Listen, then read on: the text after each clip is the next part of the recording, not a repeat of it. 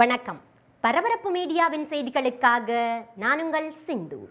இந்திய தயாரிப்பு விமானம் தேஜஸ் எம்கே டூ இந்திய விமானப்படையிடமுள்ள பிரெஞ்சு தயாரிப்பு மிராஜ் டூ தௌசண்டின் மேம்படுத்தப்பட்ட வடிவத்தை விட இயங்குதிறன் அதிகமானதாக இருக்கும் என விமான தயாரிப்பு நிறுவனம் எச்ஏஎல் தெரிவித்துள்ளது.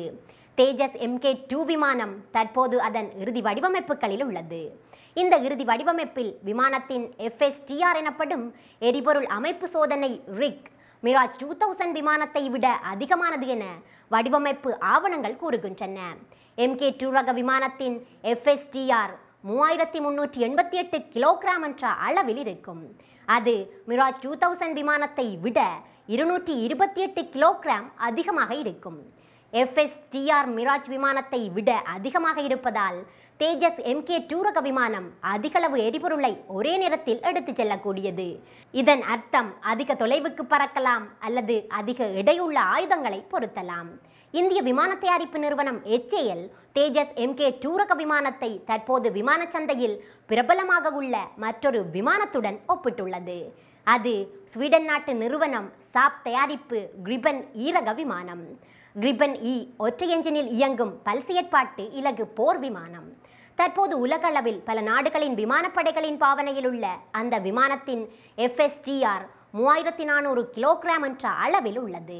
கிட்டத்தட்ட அதே அளவில் தேஜஸ் எம்கே டூவும் உள்ளது என எச்ஏஎல் நிறுவனம் கூறுகின்றது. கிரிபன் விமானத்தின் தாக்குதல் வீச்சு ஆயிரத்தி ஐநூறு கிலோமீட்டர் என்ற அளவில் உள்ளதால் தேஜஸ் எம்கே டூ விமானத்தின் தாக்குதல் வீச்சும் கிட்டத்தட்ட அந்த அளவில் இருக்க வேண்டும். இங்குள்ள ஒரு முக்கியமான விஷயம் எச்ஏஎல் நிறுவனம் கூறுவது அவர்களது விமான வடிவமைப்பின் போது செய்யப்பட்ட கணிப்புகளை வைத்துத்தான். தேஜஸ் எம்கே டூ ரக விமானம் இப்போதுதான் வடிவமைப்பு இறுதி செய்யப்பட்ட நிலையில் உள்ளது. அதை வைத்துத்தான் நாம் குறிப்பிட்ட ஒப்பீடுகள் செய்யப்படுகின்றன. அடுத்த ஆண்டு நடுப்பகுதியில் பிரதான உடலமைப்பை தயாரிக்கும் பணிகளை தொடங்க போகின்றது. எச்ஏஎல் நிறுவனம் திட்டமிட்டபடி வேலை நடந்தால் பதினெட்டு மாதங்களில் முதலாவது விமானம் வெளியே வந்துவிடும்.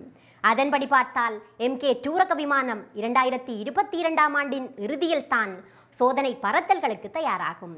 இரண்டாயிரத்தி இருபத்தி மூன்றாம் ஆண்டில் சோதனை பறத்தல்களை செய்தால் விமானத்தில் தொழில்நுட்பத்தில் சிக்கல் எதுவும் இல்லாவிட்டால் அந்த ஆண்டின் பகுதியில் விமானம் இந்திய விமானப்படையிடம் ஒப்படைக்கப்பட்டுவிடும். இந்திய விமானப்படையின் திட்டப்படி இரண்டாயிரத்தி நாற்பதாம் ஆண்டு எண்பது மிக் டுவெண்ட்டி நைன் ரக விமானங்களையும் ஐம்பது மிராஜ் டூ தௌசண்ட் ரக விமானங்களையும் தேஜஸ் எம்கே டூ ரக விமானங்கள் மாற்றீடு செய்ய வேண்டும். ஆனால் அதற்கு இன்னமும் இருபது ஆண்டுகள் இருக்கின்றன. அதற்கிடையே விமான தயாரிப்பு தொழில்நுட்பத்தில் பல மாறுதல்கள் வந்துவிடலாம் என்பதால் இப்போது இவர்கள் குறிப்பிடும் மாற்றீடு கணக்கீடு கொள்கை அடிப்படையானது என்று எடுத்துக்கொள்ளலாம் மாற்றங்கள் வரும்போது இந்த கணக்கும் மாறலாம்.